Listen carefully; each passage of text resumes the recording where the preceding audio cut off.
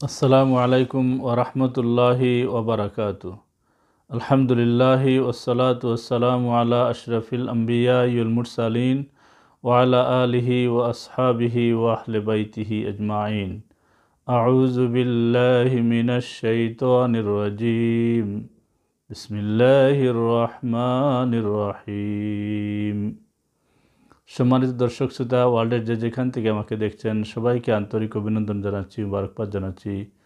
সম্মানিত সুদী আজকে অত্যন্ত সুপরিচিত এবং অত্যন্ত গুরুত্বপূর্ণ একটি বিষয় নিয়ে আমরা কথা বলতে বসেছি।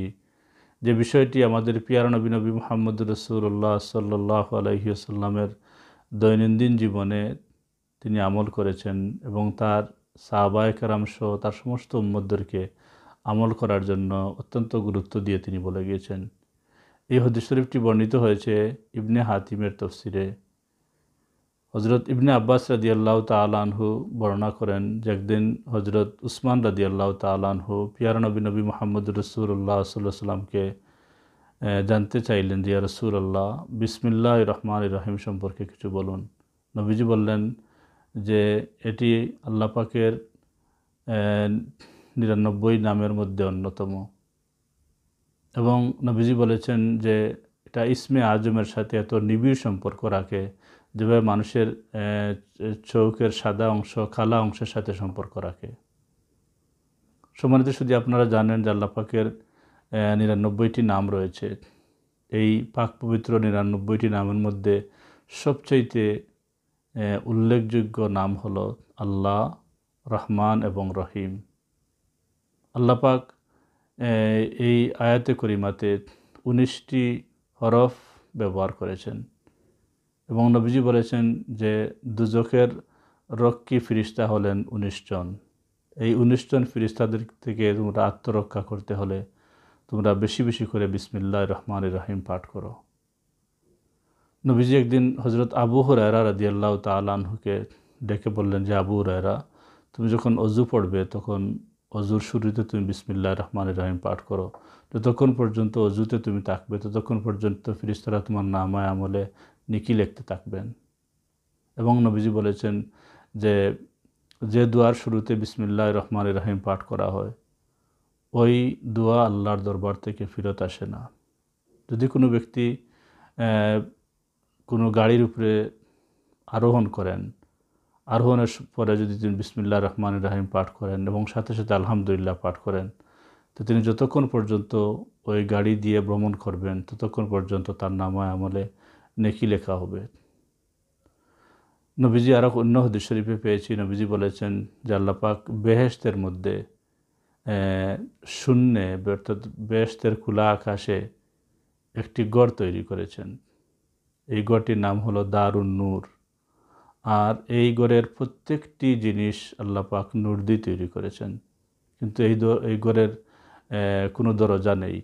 সাহবা একরামরা জিজ্ঞাসা করলেন জিয়া রসুল্লাহ দরজা না থাকলে কীভাবে মানুষ এই ঘরে প্রবেশ করবে? তখন নবীজি বললেন, যখন তোমরা বিসমিল্লাহ রহমান রহিম পাঠ করবে, তখন তোমরা উড়ে গিয়ে ঘরে প্রবেশ করবে।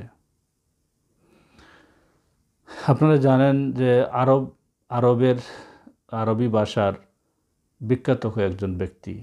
তারা একদিন একটি ডিবেটে বসেছিলেন। তারা বলেছিলেন যে কেউ কাউকে জিজ্ঞাসা করছিলেন যে, আরবি ভাষার মধ্যে সবচেয়ে প্রসিদ্ধ ওয়ার্ড কোনটি? কেউ বলেছিলেন, এই ওয়ার্ডটি হলো বেহেস্ত কেউ বলেছিলেন যে ওয়ার্ডটি হলো দুজক আবার কেউ কেউ বলেছিলেন যে, এই ওয়ার্ডটি হলো প্রথম নবী নবী আদম আলাই সাল্লাতাম কিন্তু এর মধ্যে একজন প্রসিদ্ধ আরবি ভাষাবিদ, ব্যাকরণবিদ ইমাম সাবুয়া রহমতুল্লাহ আলহি তিনি বলেছিলেন যে না, আরবি ভাষার মধ্যে সবচেয়ে প্রসিদ্ধ শব্দ হলো আল্লাহ। তখন তার কথার মধ্যে সবাই একমত প্রকাশ করলেন এবং সবাই তাকে ধন্যবাদ দিলেন। এর কিছুদিন পরে ইমাম সাব্বিয়ার ইন্তেকাল হয়ে গেল।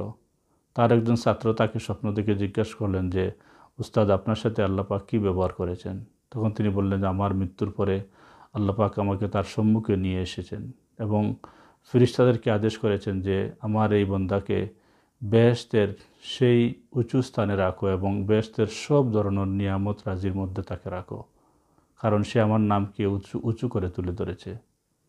সম্মানিত শুধু তফসির জগতের মধ্যে সবচাইতে বিশ্ব প্রসিদ্ধ একজন মুফাসির ইমাম ইবনে কাসির রহমতুল্লাহ আলাইহি, তিনি তার তফসির কিতাবের মধ্যে লিখেছেন যে প্রত্যেকটি কাজের শুরুতে বিসমিল্লা পাঠ করা মুস্তাহাব।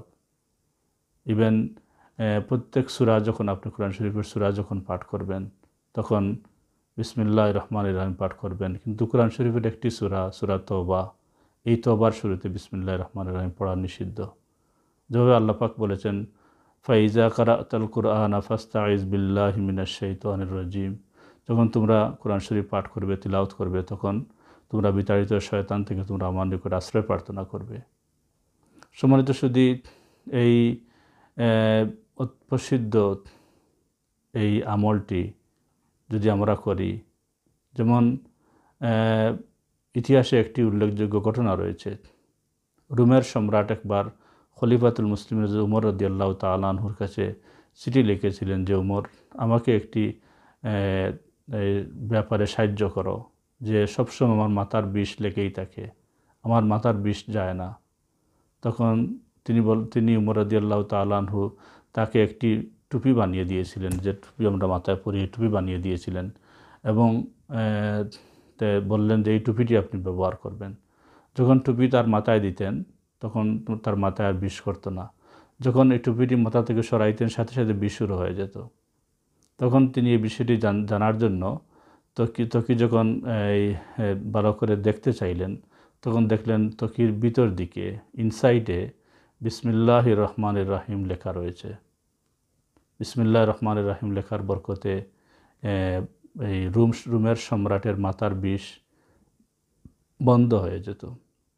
এবং আমরা নির্ভরযোগ্য কিতাবাদিতে পেয়েছি, যখন গড়ে মহিলারা কোনো কাজকর্ম করেন, তখন যদি তার কাজের শুরুতে বিসমিল্লা রহমানের রহিম পাঠ করেন, তাহলে ওই ঘরে আর বরকত কমবে না, দিন দিন বরকত বৃদ্ধি পেতে থাকবে। তিনি রান্নার কাজে বা ঘরের যে কোনো কাজে যদি তিনি বিসমিল্লা রহমানের পাঠ করেন তা আল্লাপাক তার সব কিছুতে বরকত দান করবেন।